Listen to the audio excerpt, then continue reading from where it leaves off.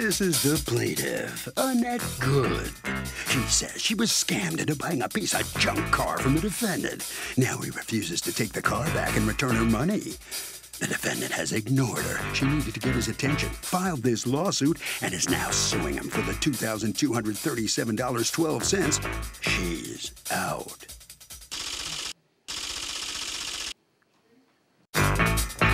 This is the defendant, Christopher James Short. He says the 2002 Lincoln, with 182,000 miles on it, was in excellent mechanical condition, and it drove like a cream puff, so the plaintiff bought it. Once she had it, she started to complain about every little thing, and he told her he was sorry, but there was nothing more he could do for her. Oh, she didn't like that. She's been harassing and threatening his family ever since, and that isn't cool. He's accused of unloading a hoopty. The defendant has filed a countersuit for $1,500 for harassment. All parties, please use your radios. Welcome back to the People's Court. Next case in the docket. The plaintiff bought a piece of junk from the defendant that the defendant called a car.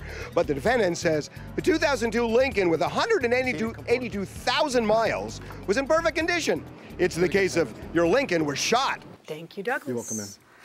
Okay, Ms. Good, you bought a car and you don't want it. Yes, ma'am. Why not? What's going on? Some of everything is wrong with it. Mechanical. What, who, you bought the car from the defendant? Yes, ma'am. How did you find the car advertised? Where, how did you It know? was on OfferUp. Offer up. So did you go test drive it? Yes. Did you take a mechanic to look at it? No, ma'am. All right, so you bought the car. Is there any paperwork from the sale of the car? No, ma'am. Nope, no paperwork? Who needs paperwork, right? Till you get to court. Nothing, no bill of sale, anything? I have this. Okay, Yes. let me see what, what'd you do with it? What, what did I do? What'd you do with the paperwork? I gave it to her. Okay, you didn't keep a copy of anything? No, ma'am. Do you do this a lot? No, well, like, my uncle owns a shop, so a lot of times customers will come, and if I can, like, I'll buy that car. If it's a nice car, I'll get it. Or some people just come in and the repairs are too too great. Do you work at your uncle's shop? I do. Oh, okay. And Yeah. are you a mechanic? I do the cleaning for his cars. Okay. So, like, I can do tires and stuff like that, Okay, but yeah. yeah. So you obtained the car from this fellow, Mm-hmm. and then you sold it. That's what you do when you do get the cars. You you'll sell them. How many do you Yeah. sell a year? Um, well, I keep a lot. I mean, maybe three, four. Okay. What do you do with the ones you keep? I keep them. Okay. Like a- that's a bad habit. Like really, it's really a bad habit. Like because you can ask her. I, I say that have? about every car. I'm like, I should keep this car. Like How- seriously, How many cars do you have? five right now. Okay, because it's an addiction. I know because I live with a man with that addiction. anyway, so tell me, so what goes wrong with the car and how fast does it go wrong? Um, the next day it started. I had to go get it inspected. It wasn't past inspection. So I had to pay the guy at the inspection station extra fifty dollars to get it passed. What does that mean? You bribed him? Yeah, basically, yeah, extra Okay. fifty dollars. All right. to get it passed. I don't usually Yeah. have people tell me that they bribe somebody to, for. might Yeah. All right, so go on. Extra fifty dollars for it to pass because it need windshield wipers and stuff. Okay. Um, about two hours later, it started the check engine light come on. I took it to the shop, and they did a bunch of codes came on it. Then it Okay. started smoking.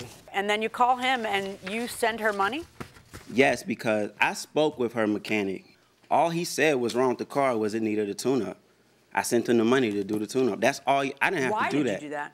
Just because I'm a nice person. Like you can see my. Did you my- think you were legally obligated to do it? I knew I wasn't legally obligated. Why to aren't you it. legally obligated to do it? It was sold as is. Okay. Now, what does as is mean? As is is you know in the condition that. it- Actually, let me ask her. What do you think as is means? Well, as is on his um offer up statement was clean vehicle for sale, everything works, power windows, doors, seats, sunroof, also mirror, has fresh oil, good tires, coolant flush, new brakes. This is a luxury car at its best. For No $1,500. leaks, No mm-hmm. leaks, squeaks, or rattles. For $1,500, Yeah. right? Is there any sentence he said in the advertisement that is a lie? All of it. Do you have a right to rely that a 2002 Lincoln with 182,000 miles can be in good working order? Obviously not. I don't think so. What do you say? 2002 Lincoln. Uh, depend on how they uh, maintain. No, no, not depend. Can you ever rely on a car that's 17 years old with 182,000 miles? Absolutely. Really? If you check it out and beforehand, yes, you can. Wow. Boy, you- just be careful going inside the courtroom. Was there a leak? Yes. Okay. Do you have any evidence that there's Yes, a ma'am. leak? When was the transfer of the car? Oh, on the third, I think. And she did leave off one part. It definitely says, welcome to bring a mechanic. Oh, for sure. I mean, everyone's always welcome to bring a mechanic. Nobody does because they don't want to pay the mechanic 100 bucks. Right. But Nah. then they want to cry later about the expenses. Needs valve cover, oil leak under car, want pass inspection. What's that mean? When did you bribe somebody to pass the inspection? That was on the fourth.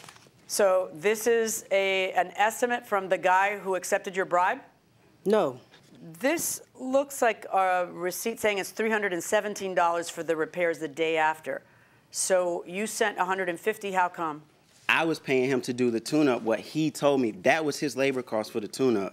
And she was buying did the parts. Did you two talk about that 150? No. All right, how did that happen? Then what happened there? We didn't ever talk Okay, about when you call, do you ever call him and say, hey, the car has a problem? Yes. And what does he say to you? He had like he don't remember selling me the car. Uh, that sounds crazy because it is crazy. That sounds crazy. Well, that's what you said. I presume he means about the problems, Like- not about selling you the car. Yeah. He- Okay. yeah. And then what happens? He hang up. All right, but then how did, do you know that he paid 150? No. Okay, did you pay 317? Yes. Who'd you pay the 150 to? to her. Okay, he says he gave you $150. I sent it through Cash App. Show me the Cash App. She denies it. Show me your thing. She gonna deny everything I, I say, don't Yana. care. I know how Cash App works. Show me the proof so I can see that you're right and she's a liar, and then we'll get to our verdict much quicker. Is he going to find a Cash App payment to you for 150 bucks? No. You know something? Oh no, I was saying about the cash out. He's he talked to me. She didn't. She remember. Oh, did you get 150 bucks? Yeah, and Oh, it said I see. You just she didn't know that you got 150 Yeah. bucks. And I Were gave you lying to me by when I said that he sent you 150 bucks and because he sent it to her? No. Your answer was I never got that. He's not going to find that. and now I'm hearing that the person standing next to you, who is your what? Daughter.